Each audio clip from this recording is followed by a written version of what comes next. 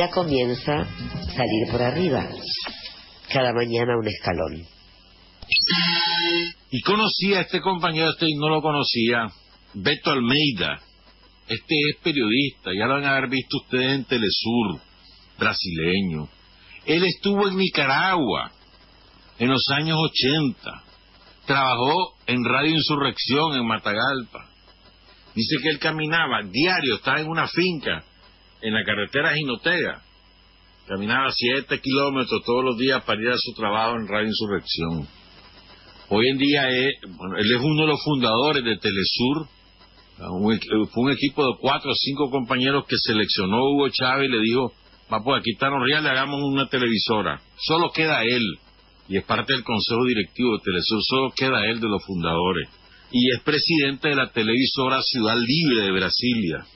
Ahí nos estuvimos platicando un rato y me estuvo contando varias cosas interesantes de Brasil, de cómo está funcionando eso y cuál es la posición de Lula, del PT, de los otros partidos que se autodenominan izquierda, el Partido Comunista y demás. Un hombre muy agradable, me estuvo recordando cosas de Nicaragua, es increíble, me dice, lo que ha sufrido este pueblo, las barbaridades que le han hecho. Y entonces uno se acuerda de toda la trayectoria que hemos tenido, ¿verdad? La hemos vivido y a veces la olvidamos. De manera que a través de todos estos compañeros saludamos a todos los que vinieron y se los agradecemos porque hacen un esfuerzo personal y político. Eh, la voz que escuchábamos era la de Chele Grigsby, del director de radio primerísima de, de Nicaragua, hablando del querido compañero Beto Almeida, a quien ya paso a saludar. Felicitaciones, Beto, por este reconocimiento de los hermanos nicaragüenses, este, por tu cobertura y por tus trabajos en Nicaragua hace ya bastantes años. Eh, buenos días, Beto, ¿cómo te va? Ahora estás en Brasilia. Sí, Brasilia, buenos días, Picone, muchas gracias. Estoy muy bien, descansé ayer un poco, porque el viaje es largo, se pasa por arriba de Brasilia, se va a São Paulo y vuelve para Brasilia. es Ah, así. este, No, eso es lo mínimo, eso es lo mínimo frente al mutirón, el gran esfuerzo que hizo el pueblo de Nicaragua para salir a caballo, de barco, incluso hubo accidentes ahí, los ríos caudalosos del Caribe nicaragüeño, eh, un equipo del ejército que estaba apoyando la logística de la elección, eh, y un río muy, muy fuerte, muy fuerte, se chocó con una piedra y todos murieron. Cinco, compañeros, cinco compañeros murieron. Sí, estaban conduciendo la- las urnas, la, el material de, de campaña. Eso fue domingo a la noche. Eh, fue muy triste, ¿no? Porque, bueno, pero quien vivió en Nicaragua unos tiempos, como yo tuve el honor de vivir, y saber cómo la contra, financiada por los Estados Unidos, arrancaba los ojos de los compañeros que prendía y explodía, ponía bombas en puentes, cooperativas, escuelas, torres de electrificar. Bueno, el país estaba siendo construido por la revolución en los 80. Estaba haciendo la, la erradicación del analfabetismo, una cosa lindísima, porque paró, paró, incluso la universidad se paró para dedicarse a que todos pudieran saber leer y escribir. O sea, los propios universitarios se fueron convencidos de que más importante era que el pueblo todo pudiera aprender a leer y utilizar la, el método de Paulo Freire para alfabetizar rápidamente con la presencia de los cubanos. Y hubo una página muy linda, heroica también, porque la contra mató eh, seis compañeros cubanos, maestros, que estaban alfabetizando en Nicaragua. Y cuando Fidel anunció eso en un comicio eh, en la Plaza de la Revolución, esa noticia trágica, todos se levantaron la, miles se levantaram a mão oferecendo-se de voluntários para substituir em Nicarágua os cubanos que haviam sido assassinados por la contra. Então, hoje, quando vemos esta discussão sobre Nicarágua que continua, não? com os grandes medios haciendo toda essa campanha de que Nicarágua não houve eleições limpias, y nosotros vimos el esfuerzo, la gente caminando, la gente de barco, la gente de caballo, la gente eh, haciendo un esfuerzo tremendo. Porque primero, Picone, para, para ser, eh, para ser policía electoral, para ser procurador electoral también, hay que hacer un curso, hay que ser voluntario, hay que estudiar historia de Nicaragua, hay que estudiar la constitución, hay que estudiar la legislación electoral. No es así que se pone cualquier uno. No, y hay una prueba. Los que no son aprobados no van a ser. Y es, y había 230 mil jóvenes voluntarios trabajando. ¿no? Que le dan un sándwich aquel día, nada más una maquita, una cosa así para comer el día, una, una gaseosa, nada más. Pero eh, ahí estaban cargando ancianos, eh, explicando a la gente, pero no había grande necesidad porque no había tumulto, era una, una fiesta cívica. Eh, el pueblo de Nicaragua tenía una conciencia del significado de la elección y la cuidaba, preciosa elección porque sabia que eh, Estados Unidos não queria a eleição. E foi abortado um golpe que estava para ser dado com um exército mercenário de 900 mercenários, pagados por la embajada norte-americana. E quando todo isso se foi revelado, porque os sandinistas estavam infiltrados dentro desse exército de mercenários, evidentemente, e por isso foram presos los que organizaron el golpe, porque la ley no permite recibir plata extranjera para organizar actividades políticas dentro de Nicaragua. Incluso en medios de comunicación, de todo eso. Fueron presos algunos que supuestamente son apresentados ahora como periodistas independientes por los medios del gran capital. Ahora el gran capital exalta o periodismo independente de alguns que são financiados por la Embajada Norte-Americana em Nicarágua. Estes estão presos porque iam barbarizar o que se supunha que iam ser ataques terroristas estilo Estado Islâmico, Al-Qaeda, e foram abortados. Por isso, a eleição foi eh, realizada em um clima Eh, de bastante cuidado, porque la gente primero tenía que vencer el miedo, porque había miedo de que pudiera pasar algo, y la gente salió a votar. En Estados Unidos, cuando fue derrotado, porque el golpe fue abortado, pasó a hacer campaña por la abstención. Entonces ahí está la democracia americana, abstención, injerencia en otros países. Eso se pasó. Entonces Nicaragua eh, sigue sendo o grande debate, porque acá o próprio PT largou uma nota da Secretaria de Relações Internacionais apoiando e exaltando Nicarágua, e a presidência do PT, no dia seguinte, sacou a nota, retirou a nota de la, del, del portal oficial do PT, dizendo que não poderia apoiar a Nicarágua, não, dizendo que no podría, en realidad la explicación fue de que la, la Secretaría debería haber escuchado, la Secretaría, el secretario de Relaciones Internacionales, que firmaba la nota, Romero Pereira, que debería antes de haber consultado la Dirección Nacional. Bueno, entonces te pregunto, ya hubo tiempo de consultar la Dirección Nacional. Estamos esperando ver cuál es la posición del PT acerca Lo que pasa es que gran parte de la izquierda, yo veo por los debates que estoy enfrentando acá, está confundida porque le dan mucho más crédito a Joe Biden do que a Ortega.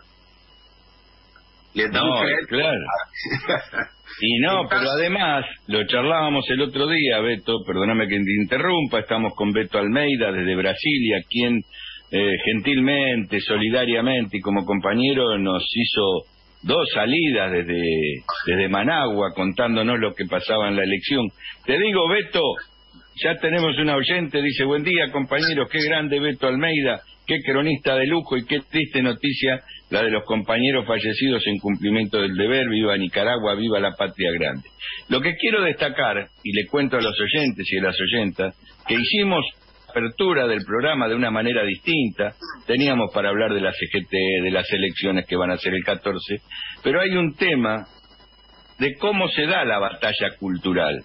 Nicaragua está tapada, se habla mal de Nicaragua, vienen las elecciones, se impugnan las elecciones. Esto es lo que uno se entera por los medios. Y muchos sectores se dejan llevar por los medios hegemónicos que juegan un rol eh, tremendo. Por eso nosotros, de nuestra humilde posición de Radio Rebelde, en salir por arriba, queríamos escucharlo a Beto. Y Beto, te pongo ya en contacto, y también a los oyentes, porque siempre sale unos minutos con nosotros, también este, con mucha solidaridad, eh, Fabián Pozo, quien también integró las huestes de Telesur desde el Uruguay, porque Uruguay acaba de firmar una nota promovida por Canadá, Antigua y Barbuda, Chile, Costa Rica, Ecuador, Estados Unidos y República Dominicana este, en contra de Nicaragua. Fabián Cardoso, ¿cómo te va? Buenos días.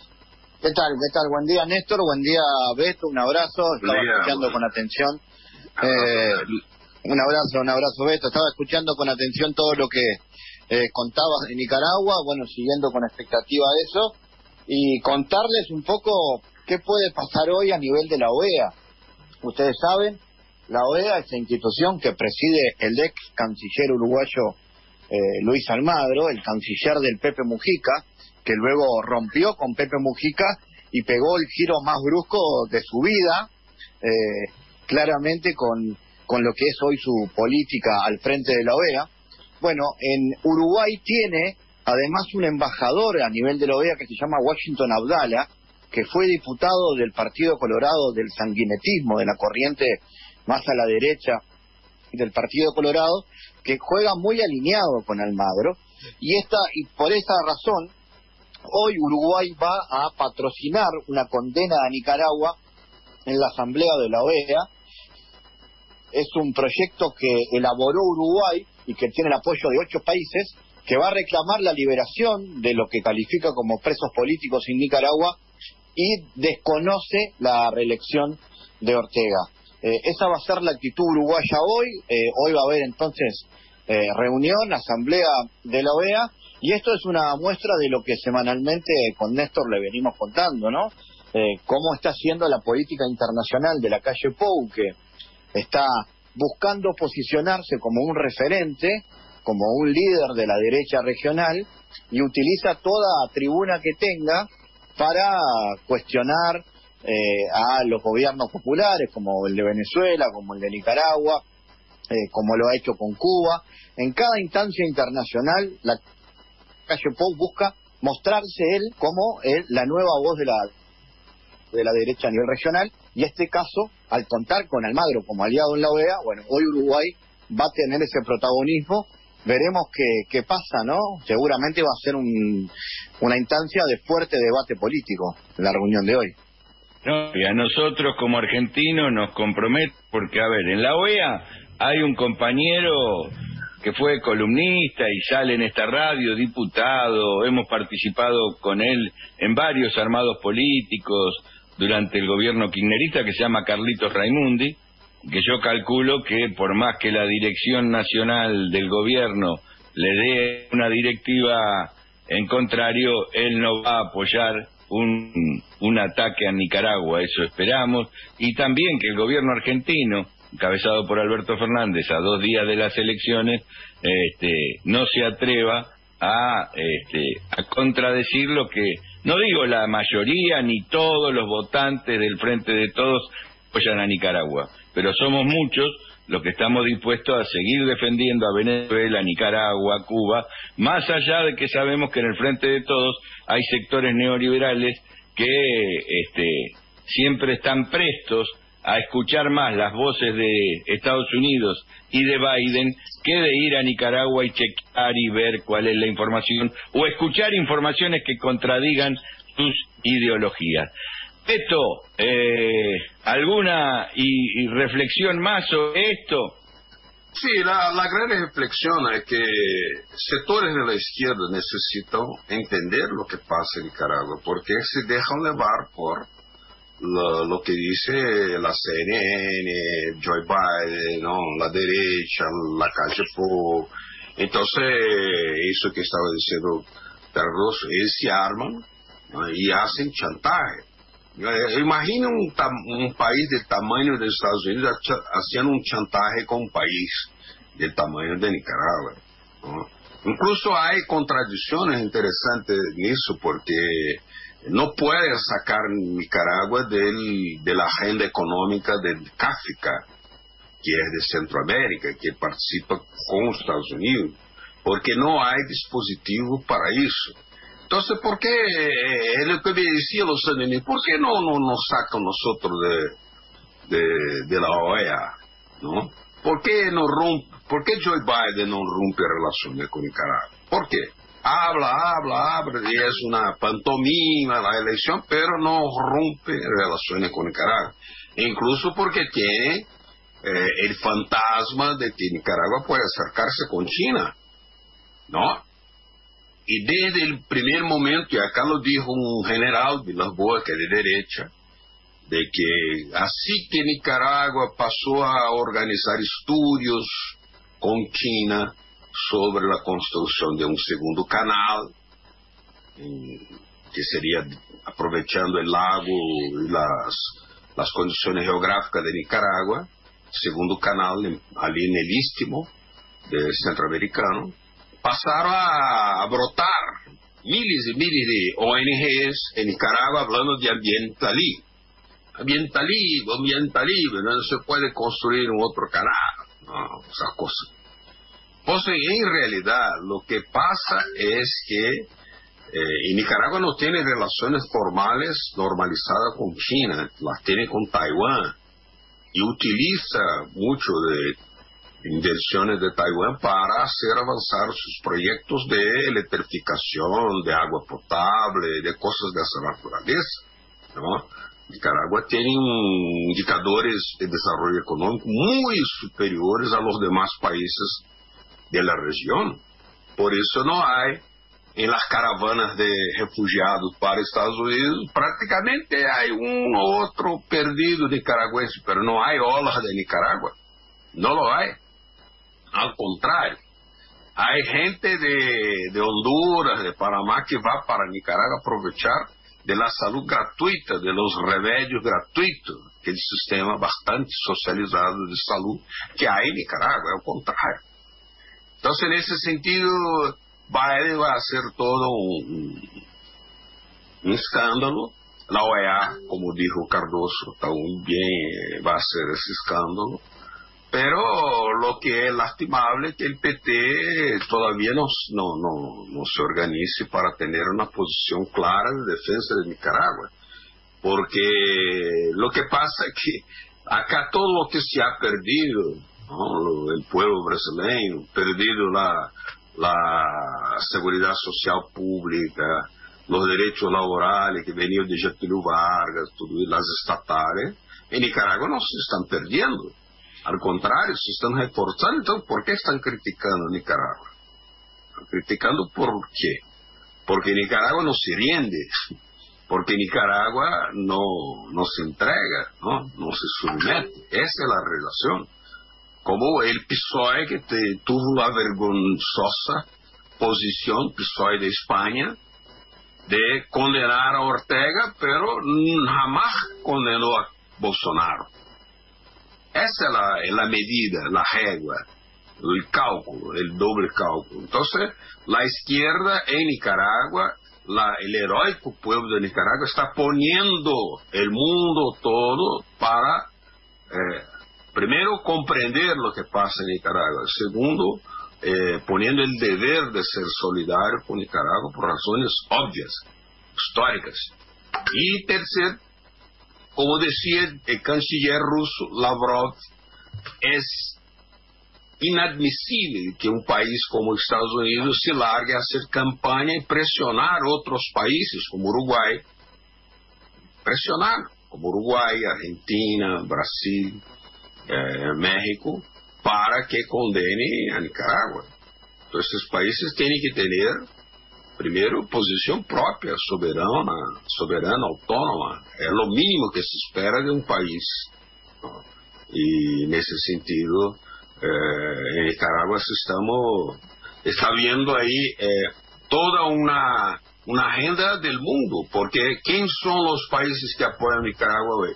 Irã, Vietnã, Rússia, Venezuela, Cuba, Síria, ¿no? Esos son los países que están, ah, digamos, promoviendo un campo antiimperialista mundialmente, organizando. Son los países que enfrentan el imperio. Y los otros son, pero esperaban mucho más de, América Latina, sobre todo porque en Nicaragua no se descarta, nunca se puede descansar, descansar o descartar una intervención militar, ¿no? Bueno, en Nicaragua. No, no hay que descartar ninguna intervención militar, ni un ataque a Bolivia, como a Cuba, como a Venezuela. La guerra está planteada, y si es por elecciones, por elecciones. Si es por presión económica, como el bloqueo que sufren Cuba y Venezuela, es por eso. Y si no, aprovechando esas estructuras coloniales como la OEA, a jugar y presionar. Esto, eh, te quedas un minutito más eh, y Fabián se tiene que ir, pero quiero que nos cuente y vamos a cerrar esta primera media hora con uno a un músico popular que murió esta semana en Uruguay, Gastón Dino Ciarlo, y le pediría, vamos a terminar la media hora con, con música de él, que nos cuente, Fabi, qué, significa este Gastón Dino, que es su sobrenombre, en Uruguay, y que acá en la Argentina también es conocido, y vos sabés que nosotros, como hacemos con Brasil, unimos las luchas también con la música popular. Adelante, Fabi. Bueno, exacto, Néstor. Eh, el Dino, Gastón Charlo, una referencia de la música popular uruguaya, además un tipo comprometido siempre con las luchas populares, que ha eh, tocado, cantado en manifestaciones, actos políticos del Frente Amplio, del PIXNT, eh, una voz comprometida y esa milonga de pelo largo, que es un himno que, que forma parte de la historia de la música popular uruguaya. Yo diría uno de los más importantes, himnos.